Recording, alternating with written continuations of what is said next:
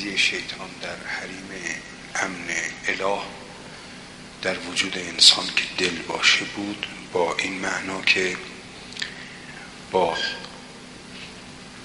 تلویساتی که شیطان میچینه و قفلتی که ایجاد می‌کنه انسان در صدد جلب توجه خلائق به سمت خودش میشه. و به دنبال پیدا کردن قدر و منزلت در دلها برمیاد.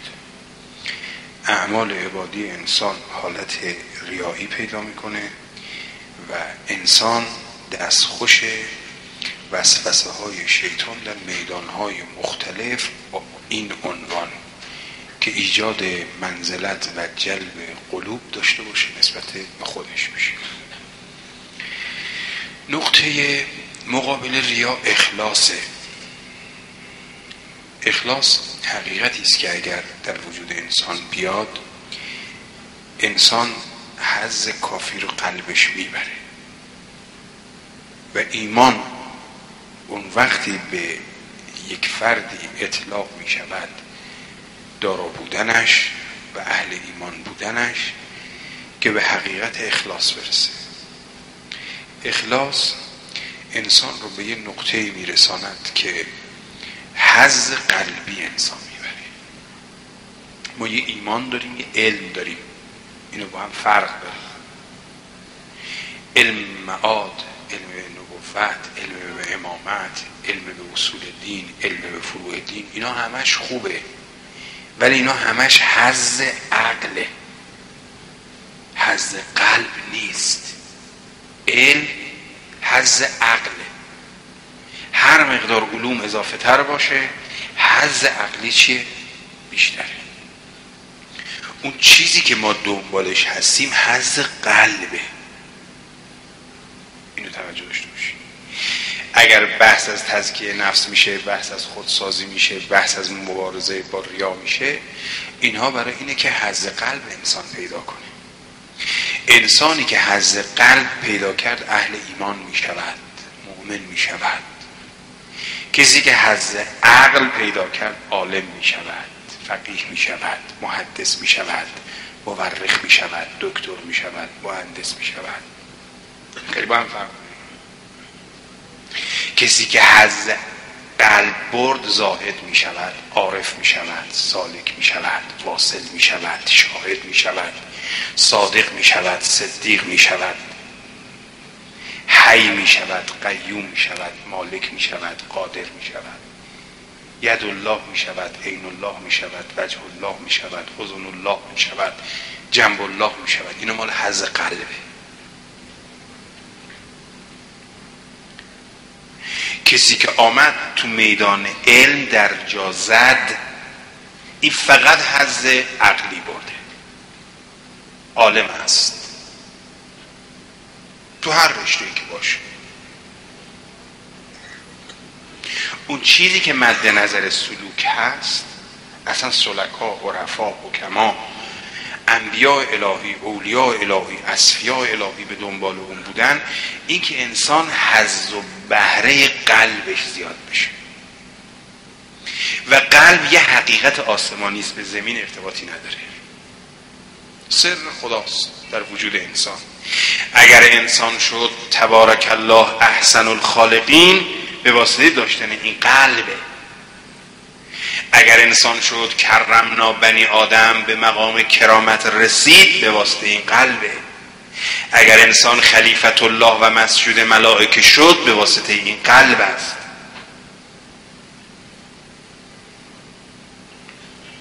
حقیقت این قلب هم یه مجموعه است که تو دو تا تعریف از معصومین علیه السلام برای ما روشن شده با یه تعریفی که قرآن داره. قرآن به پیغمبر میگه اینا میان از حقیقت و سر انسان از تو سوال می‌کنن. سئل عن روح از روح قلب جان. هر چی بخوای اسمشو بگذار. میان از تو می‌پرسن. قول روح من امر ربی. بگوییم آسمونیه زمینی نیست. تا کسی آسمونی نشه نمی‌فهمه چه اینایی هم که میان بسات را میندازن میگن احزار روح می‌کنیم و کذا می‌کنیم و کذا می‌کنیم همش دقل بازیه. هیچ کدوم ریشه و بن و اساس نداره. کسی اگه آسمانی بشه می‌فهمه که این سر الله و وقت میاد تو رساله مراجع نگاه می‌کنی همه میگن هزار رو حرام است. اگر انسان قابلیت پیدا کنه اهل سر بشه نیاز به احضار روح نداره. خود ارواح میان. کسی قابلیت پیدا کنه سنخیت پیدا کنه میان صف می‌کشن کنار دستش. اصلا امورش رو میان تمشیت می‌کنن معاونتش می‌کنن همراهیش می‌کنن همکاری باش می‌کنن.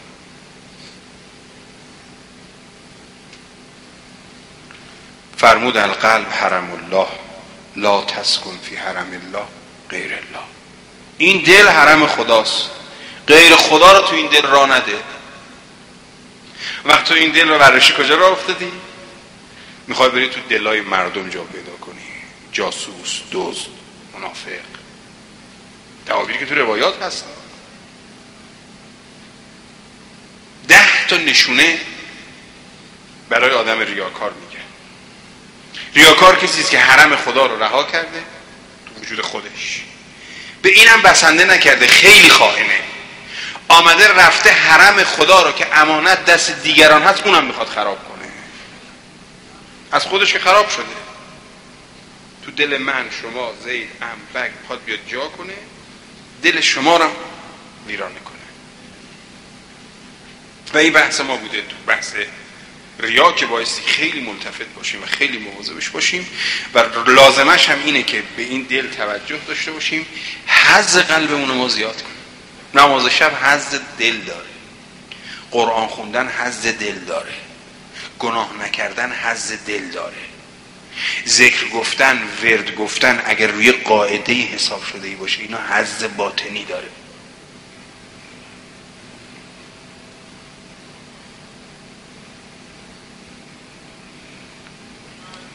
توی نقطه ای می‌رسه که همه چیش میشه حز دل. اصلا علم اگر همراه با حز دل نشه میشه هجاب اکبر. بدترین و بدبخترین دام میشه. خوش به حال اون عالمی که عقلش و دلش با هم همراهه بدا به حال اون انسان عالم فرهیخته ای که دلش یه طرفه عقلش یه طرف. و همه این نکبت و بدبختی هایی که امروز ما گرفتار شیم مال همین معناست. دلهایی که حرم خدا نیست عرش رحمان نیست. یه سری معلومات رو آمدن اینها تلمبار کردن تو کلشون مای دردسر شدن برای خودشون و برای مردم.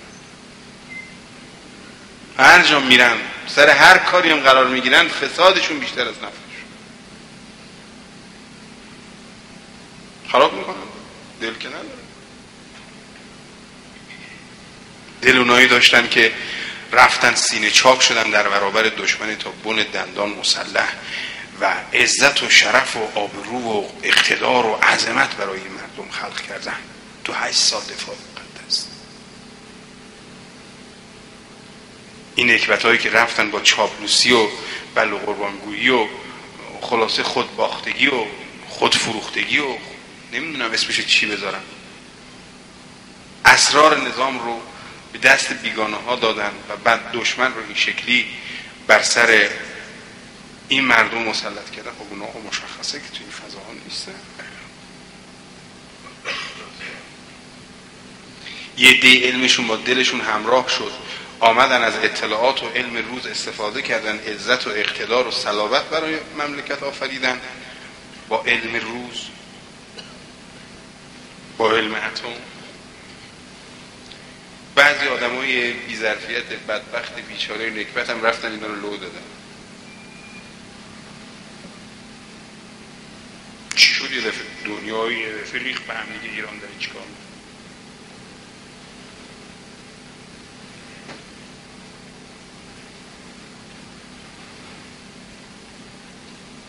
چی بودی؟ چه خبری نبود یه دفعه سر صدا دارم. اینا تفاوت هاست. و مواظب باشیم. هر کسی تو حریم خودش مواظب باشیم اجازه ورود شیطان رو برای اینکه دلمون رو تصرف کنه و یا اینکه نه بدتر از این توی فضایی ما بیفتیم که به دنبال تسخیر دلها باشیم تو این جهت نباشیم علائم ابتلاع به مرض ریا. حدود چهارده تا نشانه من از جمع روایات پیدا کردم امشب. براتون عرض می‌کنم این چهارده تا دیگه بیشترم نداره دیگه نشانه ها و علائم ابتلاع به این مرض. ارزم کردیم ریا یعنی که انسان به دنبال طلب منزلت در دلها باشه. یک حالت درویی و دوچهرگی برای صاحب خودش ایجاد می‌کنه. ظاهر و باطن فرق می‌کنه. اینو گفته بودم. دوم در انظار مردم با نشاط و شوق عبادت می‌کنه. اینم گفته بودم سوم در تنهایی بی نشاط و بی رقبت است. این سومیان براتون گفته بودم. چهارم دوست دارن مردم در تمام کارها ایشان را ستایش کنند.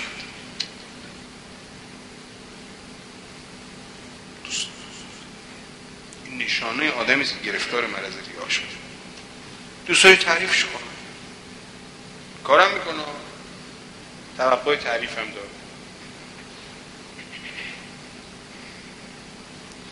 هنگام ستایش مردم بر عمل میافزایند این نشانه پنجمش. وقتی میدارم تعریفش می‌کنن تعبیرش می‌گیرن خلاصه خوب دراز گوشی میشه تو کار کردن.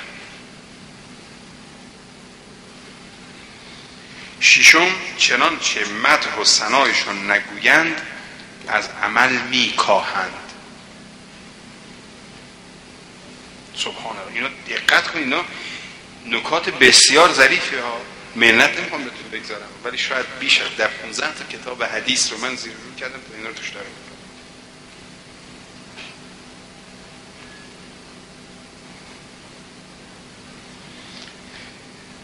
چنانچه مت و ستایششان نگوین از عمل میکاهن کم از اهل خودعه کلک و فریب میشن. حقباز میشن.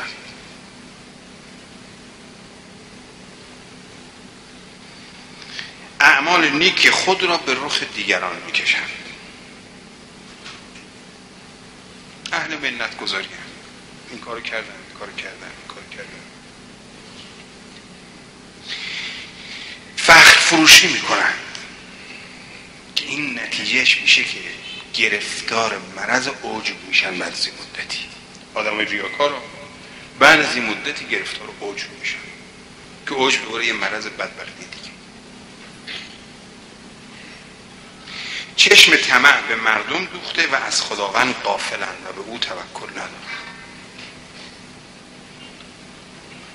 قطع میشه ارتباطشون با عالم یازدهم در ظاهر ذاکر عابد.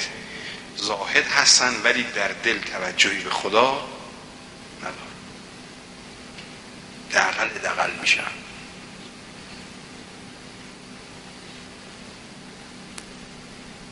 خودپسند و خودخواه و مغرور هستند اینا گرفتاری است که زیر سایه ریا به سراغ آدم رفاه طلب و تنپرور هستند. آخریشو میترسم بگم.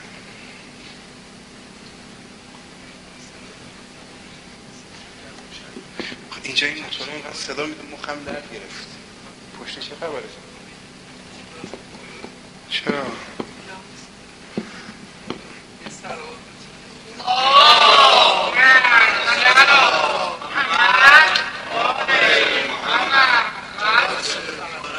توف به نشه من که کله درست حسابی که ندارم. سینه درست حسابی که ندارم.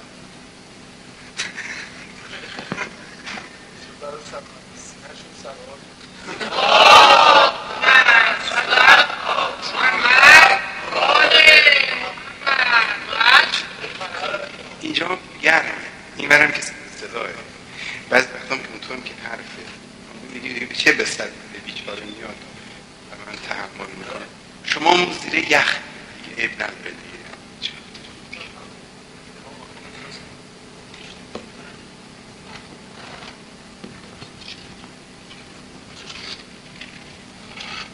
آخرین از آس خدا پدرت رحمت خدا جامعه زیر بیا مرزه طلب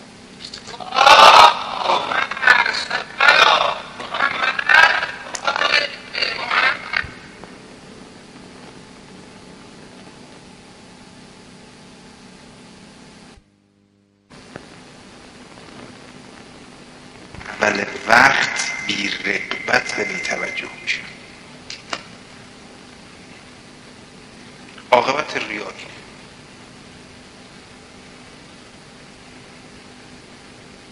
نقطه این مقابل این که اخلاصه انسان مخلص تو وادی بندگی خدا رو با هیچ عوض نمی‌کنه. ملاک و معیار خداخواهی هم تو اعمالی که انسان انجام میده نمازه خصوصا نماز اول وقت علل خصوص نماز صبح یا علی مده. ببین چه خبره. نماز اول صبح نماز صبح اول وقت ببین چه خبر میشه؟ ما همه گرفتاریم. اون تا این مرضه کم و زیاد داره این قده سرطانه. برای بعضی خوشخیم خوب میشه واسه بعضی بدخیم همجوری می‌بره می‌بره می‌بره تا عاقبتشونو معلوم نیست به چی چی منتهی می‌کنه. و مراقب باشیم مواظب باشیم دقت داشته باشیم توجه کنیم. حواسمون جمع باشه. به بیراه نریم. فویلون للمسلین الذين هم عن صلاتهم چی؟ ساهون والذین هم یراون وای به حال نمازخونا. که بیچاره میشن. کدوم نمازخونا؟ اونایی که تو نمازشون سستن. اول وقت نمازشون نمی‌خونه. به جماعت می‌تونه بخونه نمی‌خونه. داخل مسجد می‌تونه بخونه نمیره. بی رقبت بی حال تنبله. علت این که تنبل هست بی حال هست توفیق نماز اول وقت ندارد این است که والذین هم یراعون اهل ریا شد اهل ریا شده و ریا بیشاره می‌کنه آدم. ریا این موریانه است که به تنه درخت وقتی بیفته از درون می‌خوره. درخت می‌بینید قطور تنومند با یه مختصر ملایم بادی که بیاد ساقط میشه زمین. وقتی میشکنه می‌بینید توش هیچی نیست خالی خوش ریا این شکلی می‌کنه اعمال انسان هیئت تو خالی گریه تو خالی عزاداری تو خالی قرآن خوندن تو خالی نماز خوندن تو خالی اظهار ارادت تو خالی خراب می‌کنه کارا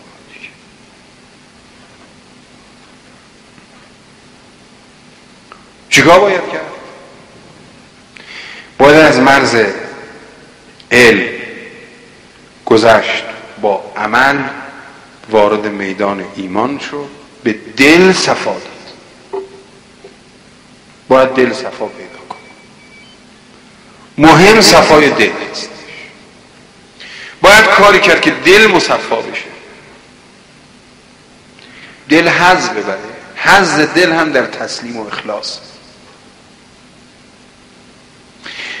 به مقام تسلیم و اخلاص هم اون گاهی انسان می‌رسد که دل را حرم خدا قرار بده. ولا تسکن فی حرم الله غیر الله. غیر خدا رو نه تو دلش باشه. بریزه همه رو بیرون. هر کی می‌خواد بشه.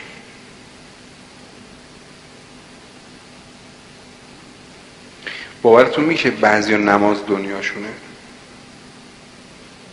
بعضی امثال من مهراب میشه دنیاشون.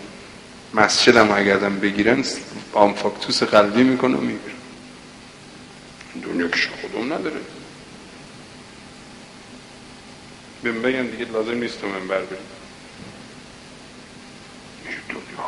شیطون بیکار نشسته.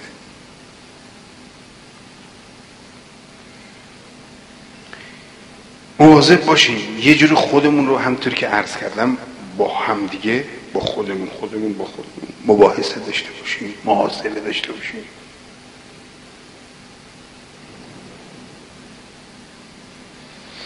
گفتن صدا بالا نبود. من یه مرتبه دیگه سریع این چارده تا علامتی رو که برای ابتلاع به مرض ریاس عرض می‌کنم که دینی از خواهرها به گردن ما نباشه. صدا درست شد آقا؟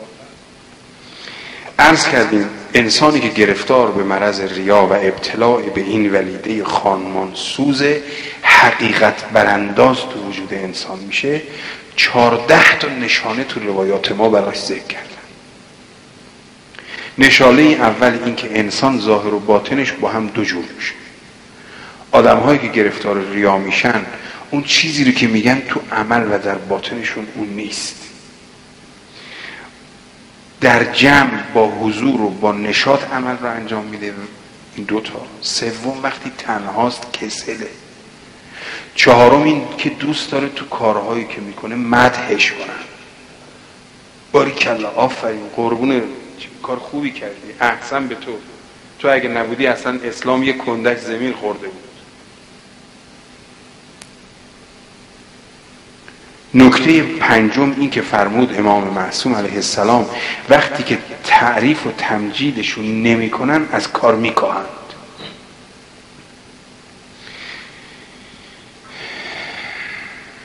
هنگامی هم که مردم ستایششون می‌کنن بر عمل میافزایند.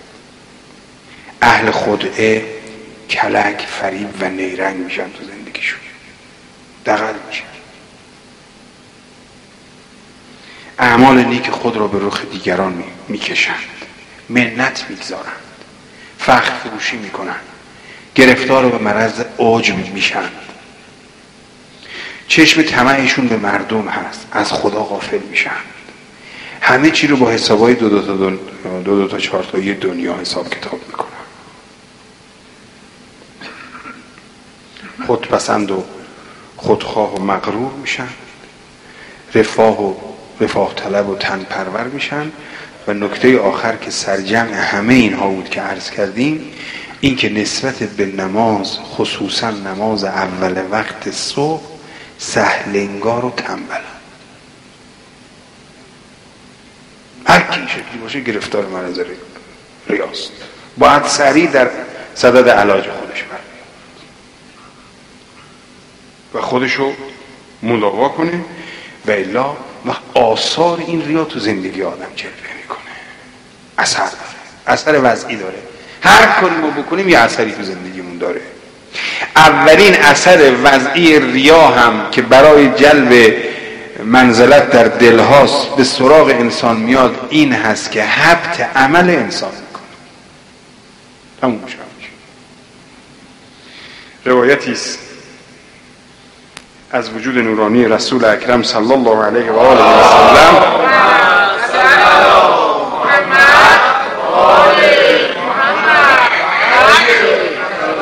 فرمود حضرت لا یقبل الله عملا فیه مقدار و ذرت من ریا خدا عملی رو که اندازه یه ذره دونه ارزن. ریا توش باشه قبول نمیکن باز روایتی از وجود نورانی حضرت امام صادق علیه السلام که حضرت تون روایت میفرمایند از قول خداوند تبارک و تعالی که خدا میگه انا خیر و شریکه. من بهترین شریک هستم. علتش هم این هست که هر کسی که در اعمالش غیر مرا داخل کنه من همه عمل رو میبخشم. هیچ نمی‌خوام.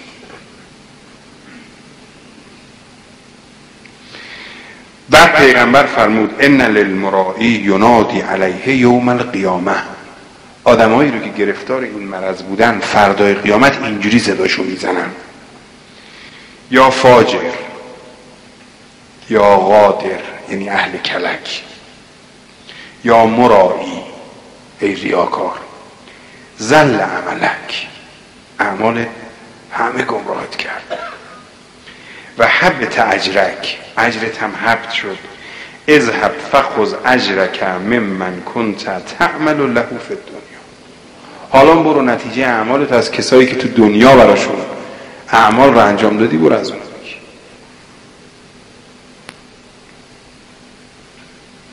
باز حضرت فرمود رسول اکرم ان اخفف ما اخاف علیکم الشرک الاصغر یه چیز منو خیلی نسبت به شما ها نگران کرده پیغمبر میفرماد. اونم شرک کوچکه. سوال شد یا رسول الله و ما شرک الاصغر قال الریا یقول الله عز وجل یوم القیامه اذا جاز العباد به اعمالهم اذهبوا الى الذين کنتم تراؤون لهم في الدنیا فانظروا هل تجدون عندهم الجزاء. فردای قیامت هم خداوند فریاد می‌زنه به ریاکارها میگه بساتتون رو جمع کنید برید به سمت اونایی که تو دنیا اعمالتون رو برای اونا انجام بدید پاداشتون هم از اونا بگیرید.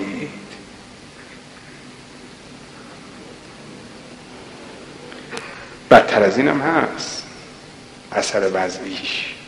از زمره اهل ایمان خارج میشه کسی گرفتار ریاست تیر خلاص. آقا چیکار کنیم؟ تو تو داری میگی؟ پس دیگه بیدینی تموم شد دیگه خیالمون راحت نه عزیزم. بیا با خدا عهد خدا می‌خوام بنده تو باشم. به هیچ هم دیگه هیچ کاری ندارم. نداری شیطون بیاد انگلو می‌خوام بنده خدا باشم.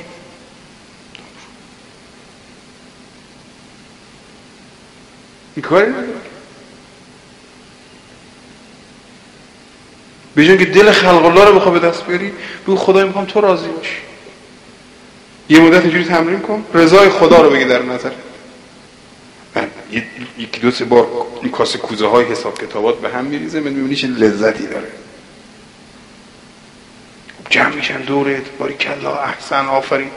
بگو احسن به خودتون آفرینم به خودتون. امام معصوم گفته هر کی جلو تعریف کرد خاک به پشت صورتش. باشه برو گم شد دنبال کار زندگی دوزا ما رو به هم بریز دو سه سری با رفیقات اینجوری برخورد کنی همینجوری تموم میشه. و چقدر زشته هی بنشینن کنار دست کسی تعریفش کنن چقدر بده. اینی که اینقدر نه شده که داره کسی که روبروش تعریفشو بکنی و تمجیدش بکنی گویا شمشیر گرفتی داری رگهاشو قطع می‌کنی واسه اینکه بیچاره اگه ظرفیت نداشته باشه گرفتار ریا میشه. خیلی از شماها یادتون نمیاد. حاج حتما خاطرش هست. دور اول مجلس شورای اسلامی نماینده ها که اولین نفر تهرانم یه آدم کت شلواری بود. وقتی خدمت امام رفتن تو حسینی جماران این بنده خدا یه خلاصه دیکلمه خیلی بلند بالایی در شخصیت و عظمت امام خوند. صحبتاش که تموم شد امام گفت این حرفایی رو که این زد تو تریبون اونی همه رو واسه خودش زد. دیگه هم حق نداره اینجا بیاد از این حرفا بزنه. نماینده اول تهران. امام اینجوری برخورد می‌کرد. اجازه نمی‌داد کسی جلوش تعریفش کنه. و ما باید حواسمون جمع کنیم. باید مواظب باشیم. خلاف چیزی که ما دوست داریم. اصلا این نکبتی که یه عده از این نکبت ها گرفتار شدن همین تعریف های علکیه که دوروبرشون واسه شون کردن. بعد چاخان هم می‌گفتن و دروغ که چاخان چاخان می‌گفتن. تو قائله که دم دانشگاه درست شده بود 700 800 تا از این عراض لوباش من کجا جمع کردن؟ اردو می‌گفتن وای اگر فلانی اذن جهادم دهد. نمی‌دونم توپ تانک بسیجی دیگر اثر ندارد ارتش فلان چی چی اینا. دو تا ماشین آپاش اومد پدر سوخته یه دونشون دیگه نبودن. چاخانم میگن. وقتی کسی که ظرفیت نداشته باشه خودشو گم می‌کنه.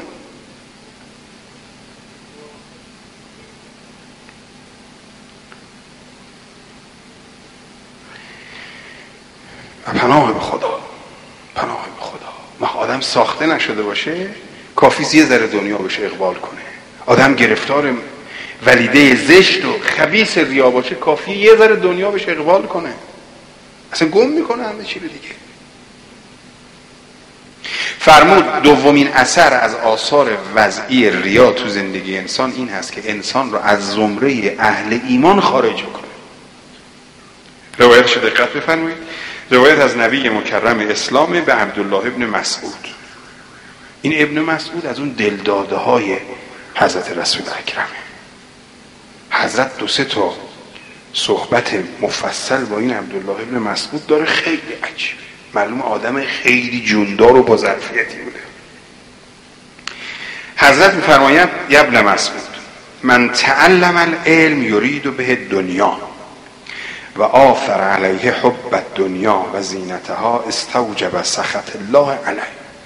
هر کسی تو هر وادی بیفته فکر و ذهنش این باشه که به مظاهر دنیا برسه و اهل دنیا رو با خودش داشته باشه این غضب خدا رو واسه خودش خریده.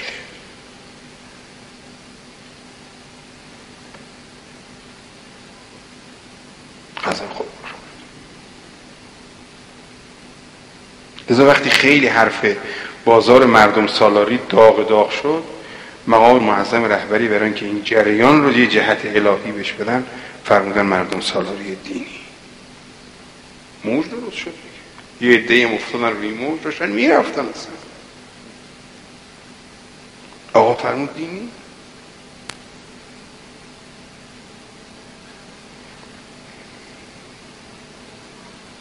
و کان فی درک الاسفل من النار مع الیهود و النصارا الذین نبذوا کتاب الله تعالی. عاقبتش هم اینه انسانی که گرفتار ریا شد و به دنبال مظاهر دنیا بود هنگام مرگ در زمره یهود و نصارا میمیرد. کدوم یهود و نصارا؟ ای آدمایی که اصلا نفهمیدن چی چی هست یا اونایی که حقیقت کتاب خدا بهشون عرضه شده پشت پا زدن؟ میفرماد اونایی که حقیقت کتاب خدا بهشون عرضه شده پشت زدن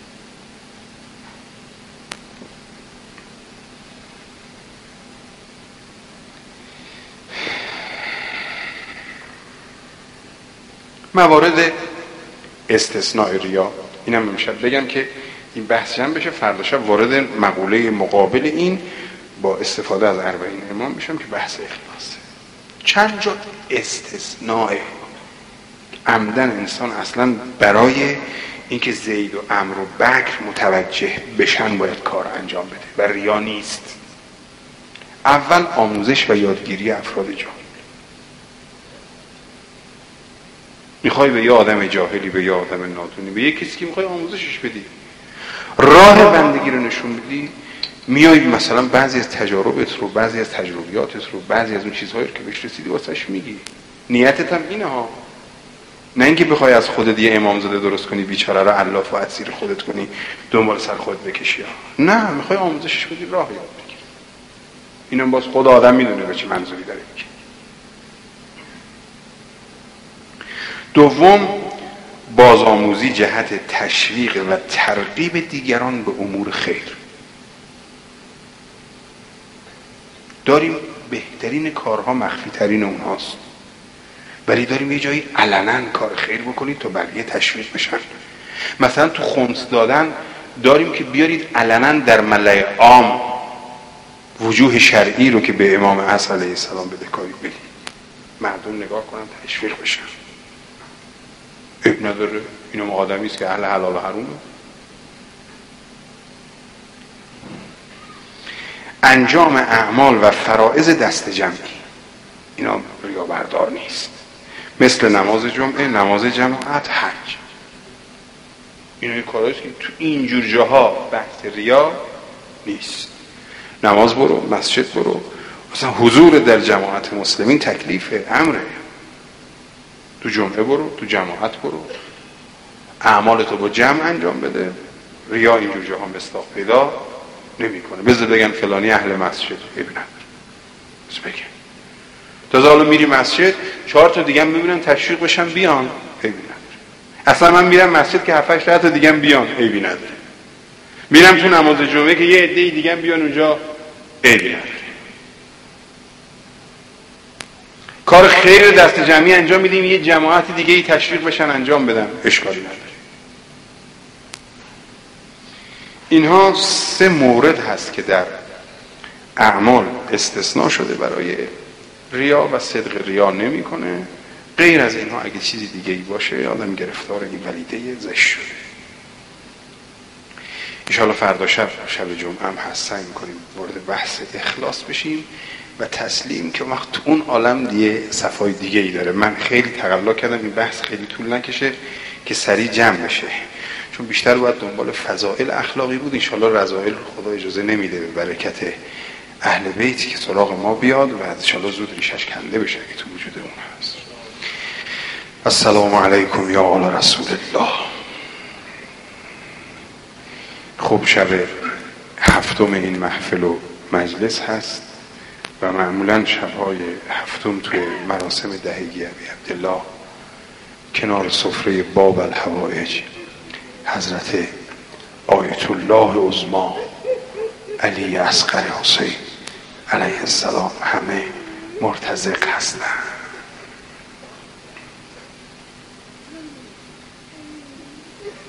واقعا علی اصغره.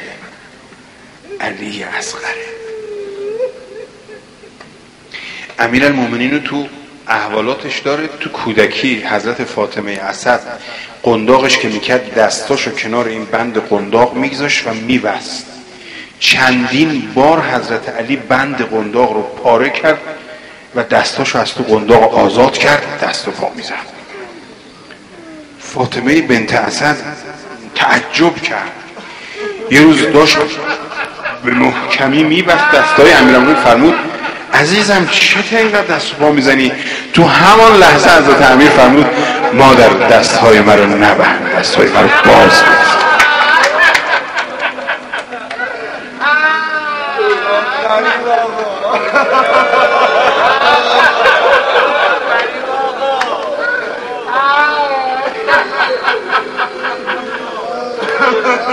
یک جا من تو مقاتل دیدم. وقتی که امام حسین علیه السلام نیزه قربت زمین زد. صدای استقاسه امام حسین که بلند شد. هل من ناصرن ینصرنی هل من معین یعینونی. صدای قربت حسین که بلند شد حضرت زینب میفرماید علی اصغر آنچنان با شتاب دستش رو طفلی که از فرط اتش دیگه تلزی می‌کرد. یعنی اصلا حتی رمق گریه کردن دیگه نداشت. آنچنان صدای قربت حسین به جانش سنگین افتاد. دستهاش از تو قنداق بیرون کشید. بند قمات رو پاره کرد. خودش از تو گهواره انداخت پایین. همه تعجب کردن. صدای گریه اهل حرم بلند شد. حسین آمد کنار خیمه ها. از خواهر سوال کرد چه خبره. عرضه داشت حسین جان این طفل شیرخواره بند قماتش رو پاره کرد خودش از گهواره خارج کرد. فرمودی تینی به ولد یا رزی حتی مده او. برید می‌خوام باش ودا کنم. گویا او هم بناست این میدان کشیده بشه. علی رو دست حسینه. حسین در اتمام حجت با مردم می‌کنه. حسین گرم صحبته. عمر به هرمله گفت پاسخ حسین رو بده. هرمله سوال کرد پدر رو نشانه بگیرم یا پسر را گفته باشه مگه سفیدی زیر گلوی علی رو نمی‌بینی؟ همین گونه که ارباب ما سخن می‌گفت. فرعاه و هرمله هرمله تیری رو رها کرد. این تیر آمد فزبه من الاذن الى الاذن و من الورید الى الورید.